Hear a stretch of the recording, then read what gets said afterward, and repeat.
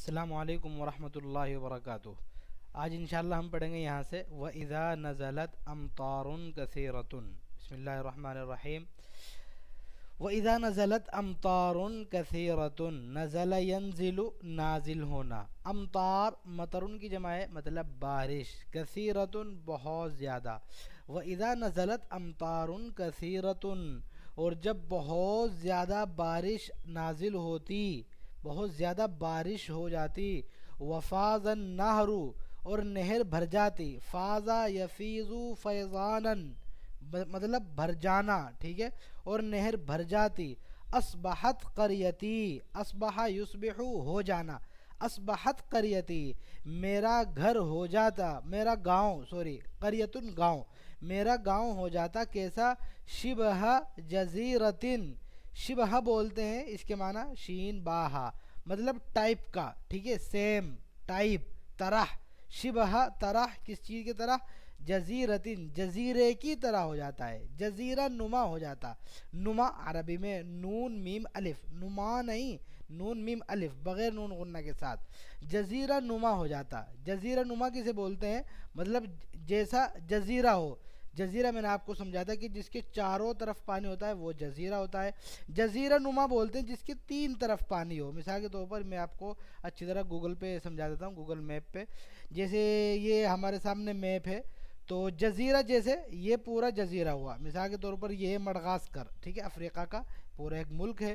تو اس کے دیکھیے چاروں طرف پانی ہے یہاں پر، تو یہ پورا کیا ہوا؟ جزیرہ ہوا۔ لیکن سعودی عرب کیا کہلاتا ہے؟ جزیرہ نما کہلاتا ہے۔ مثال کے طور پر یہ ہمارے سامنے سعودی عرب ہے، ٹھیک ہے؟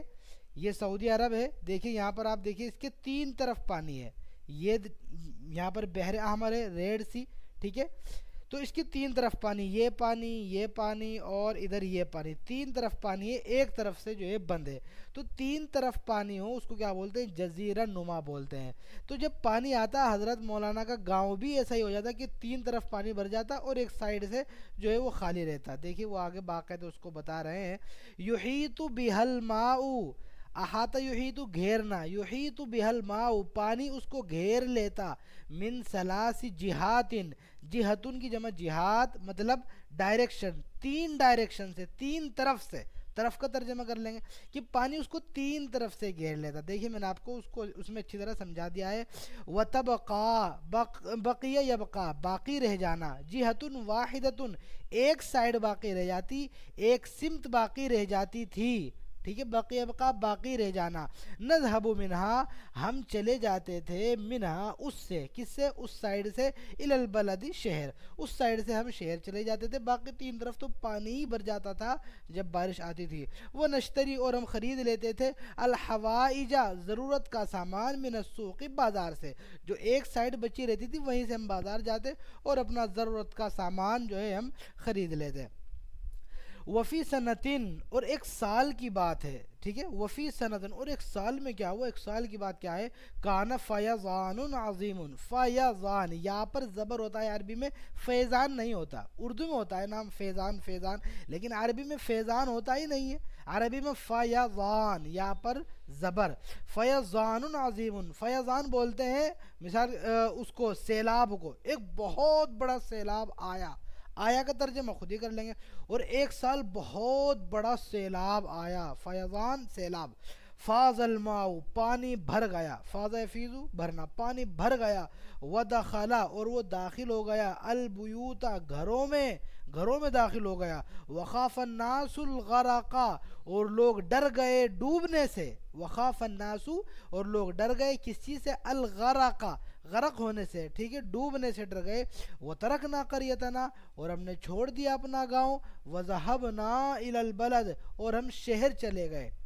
ولم نرجع الا بعد شہرین اور ہم نہیں لوٹے مگر ایک مہینے بعد، ایک مہینے بعد ہم واپس ہوئے جبکہ پورے گاؤں میں جو ہے پانی ہی پانی ہو گیا تھا، سب لوگ ڈوبنے کو ہو گئے تھے۔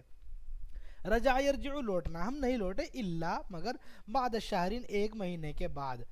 وَيَزُورُ قَرْيَتِي كَثِيرٌ مِّنَ النَّاسِ۔ حضرت مولانا اپنے گاؤں کی خاصیت بتا رہے ہیں کہ اور زارہ یزور زیارت کرنا، وزٹ کرنا۔ قریتی مفعول ہے یزور کا فائل کثیر من الناسی ہے۔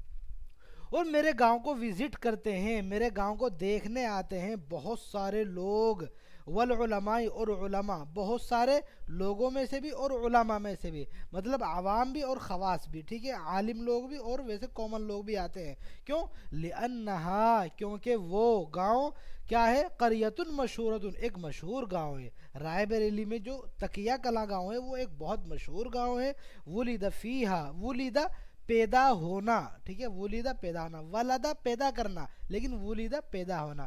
ولیدہ فیہا، اس میں پیدا ہوئے ہیں کثیر من العلماء والصالحین، بہت سارے علماء اور بہت سارے نیک لوگ، صالحین نیک لوگ۔ وعلا شاطئ النہری مسجد قدیم۔ شاطئ بولتے ہیں کنارے کو، ٹھیک ہے؟ جو نہر کا کنارہ ہوتا ہے، بیچ جس کو بولتے ہیں۔ وعلا شاطئ النہری اور نہر کے کنارے پر مسجد قدیم، ایک پرانی مسجد ہے۔ مسجد جو ہے مسجد قدیم پرانی، ایک پرانی مسجد ہے۔ بنا ہو جدن الکبیر، جس کو بنایا تھا ہمارے بڑے دادا نے۔ حضرت مولانا کے جو بڑے دادا لگتے تھے، سید احمد شہید رحمۃ اللہ علیہ، ان کی طرف اشارہ ہے، ٹھیک ہے؟ سید احمد شہید رحمۃ اللہ علیہ، انہوں نے ان کو بنایا تھا۔ جدن دادا نہ ہمارے الکبیرو بڑے، ہمارے بڑے دادا نے بنایا تھا۔ مزا علیہ سلاسمعت سنتن یعنی جن کو تین سو سال گزر گئے۔ بڑے دادا کا مطلب یہ نہیں کہ جو ہے ایک دو نسل سے پہلے ہی، بلکہ تین سو سال کی بات ہوگی، بہت پرانی بات ہوگی۔ مزایمزی گزر جانا علیہ ان پر، ٹھیک ہے؟ یعنی ان پر تین سو سال گزر گئے۔ کن پر ہمارے دادا پر یعنی تین سو سال ہو گئے۔ سلاسو تین مئہ سو یعنی تین سو سنہ سال، تین سو سال گزر گئے۔ وَيَدْخُلُ فِيهِ الْمَاءُ، اور اس میں پانی داخل ہو جاتا ہے۔ اس مسجد میں، کیونکہ وہ کنارے پہ ہے، اور اس میں پانی داخل ہو جاتا ہے۔ فی کل ہر باڑ میں، ہر سیلاب میں، باڑ بھی آپ ترجمہ کر سکتے ہیں۔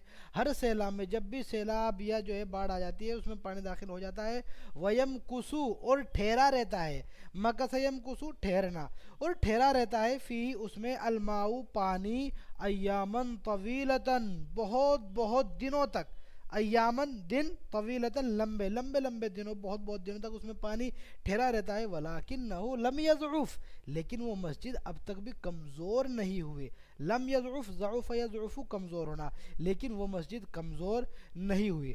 اور الحمدللہ جیسا کہ حضرت مولانا بتا رہے ہیں کہ میرے گھر، کہ میرے گاؤں کو دیکھنے آتے بہت سارے لوگ۔ تو چنانچہ ہم بھی، میں خود دو ہزار اٹھارہ میں اپنے ساتھیوں کے ساتھ اور اپنے کلاس میٹ کے ساتھ بہت سارے دوست تھے ہم، سب کلاس والے تھے۔